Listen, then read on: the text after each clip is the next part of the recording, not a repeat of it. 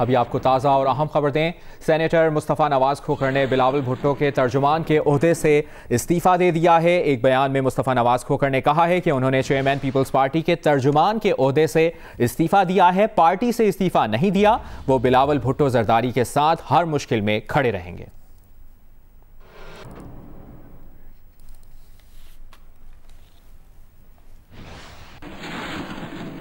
इस वक्त